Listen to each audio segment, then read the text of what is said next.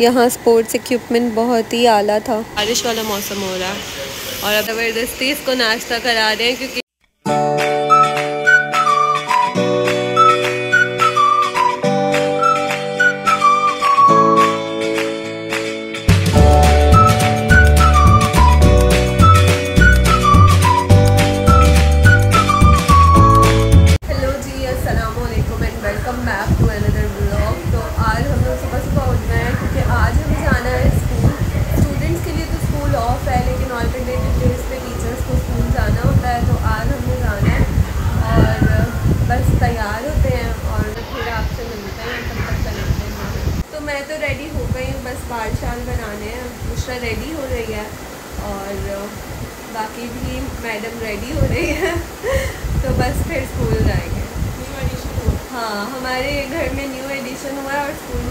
New addition हुआ है, वो न्यू एडिशन अभी तैयार हो रहा है।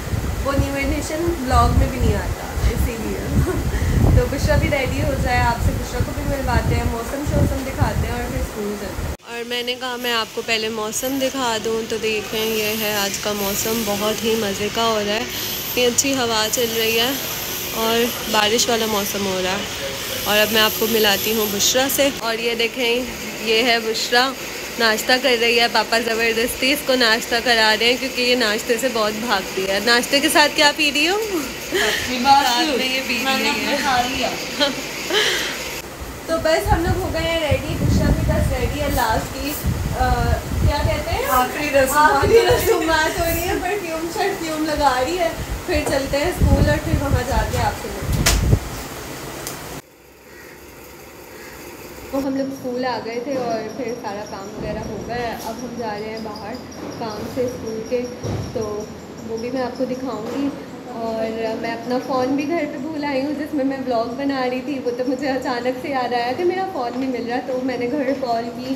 पहले मुझे लगा कि शायद मैंने ऑटो में ही गिरा दिया, लेकिन फिर पता चला कि नहीं, शुक्र है अलहमदिल्ला कि वो मेरा फ़ोन घर पे है तो बस अभी जितना ब्लॉग हो सका मैं इसमें बनाऊँगी आगे और आप लोगों के साथ शेयर करूँगी।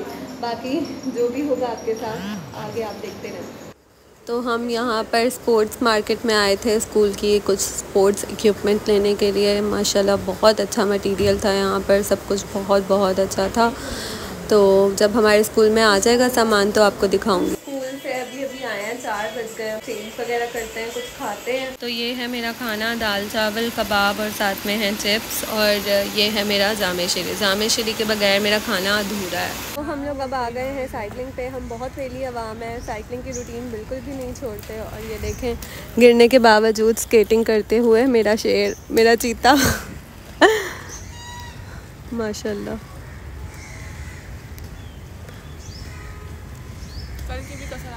हाँ। जल्दी जल्दी आओ ना।